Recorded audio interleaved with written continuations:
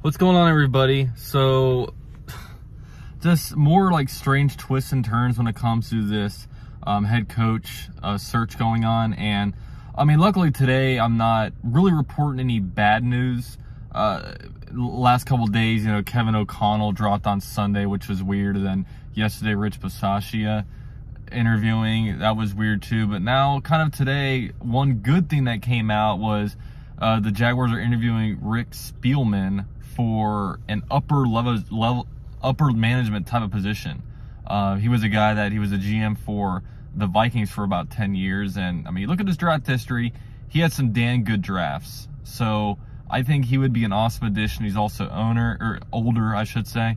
And I mean, really his track record really shows that he is qualified for that kind of position. You know, I mean, it's not like a lot of people like to throw out, you know, oh, Jim Caldwell EVP, but does Jim Caldwell's EVP make any sense if he doesn't really have a personnel history?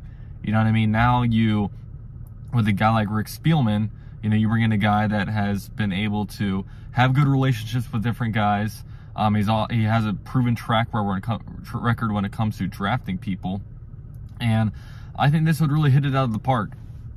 But now with this going on, it's kind of leading more toward the Jaguars maybe hiring Doug Pederson as a head coach. And I mean, Doug Pederson going into this whole process, he was my number one choice.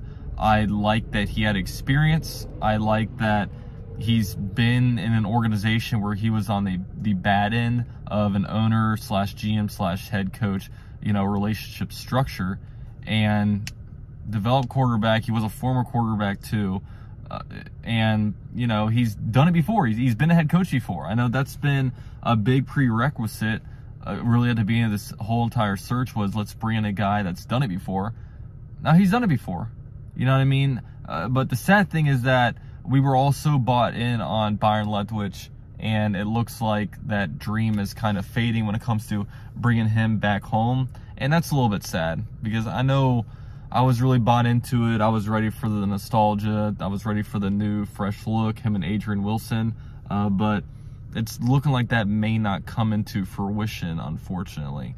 So, you know, obviously Byron's unproven. So, and whenever you have a head, like a head coach that's done before, you're going to see all the bad things. You know what I mean? You can throw out all the different bad things about uh, Doug Pederson. Oh, he, Frank Reich was the mastermind behind it, which I'm not going to buy because I think Frank Reich has been kind of exposed as a Colts head coach about a guy that really hasn't done anything.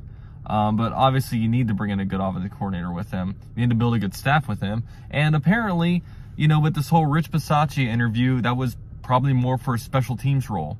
Also, Vic Fangio that was probably more for a defensive coordinator role. And then all of a sudden you look at it and uh, you say, okay, not only are we going to bring in an experienced head coach, but we might bring in an experienced, um, you know, experienced guy at the top when it comes to an EVP. You might bring in an experienced special court, special teams coordinator, you know, defense coordinator. We'll see what we do at offensive coordinator. Uh, but boom, all of a sudden you got a pretty experienced staff. And I got to say, it's been a really weird hunt for a head coach. But, you know, if we come away with you know, Spielman is EVP and Doug Pederson is head coach, I think you can do a lot worse than that. And at the end of the day, I would probably be very happy with that. And then uh, the, the common denominators looks like, you know, Baalke will probably remain GM. Not that, uh, but at least there's going to going to be a guy over him. I don't know. It's just, you know, I can't, I can't break down the positives. I can't break down the whys about Shad Khan why he wants to keep him, why he's so obsessed with this man. But he is obsessed with him. So, uh, you know, he want he wants him to hang around. So we'll see kind of how this unfolds. I'm hoping, I'm hoping something finalizes by Thursday. I'll be leaving town Friday, so hopefully Thursday, so I can come at you guys with live streams and whatnot. But you know, I mean, we'll see. But, all right, guys. Thanks so much. If you guys missed it, I was on Uche Nwaneri's show last night with him and Dilla, and a bunch of people really, really loved it. It was a really good show. So go over to Uche's channel and check that out. With all that said, go Jags. I'm out.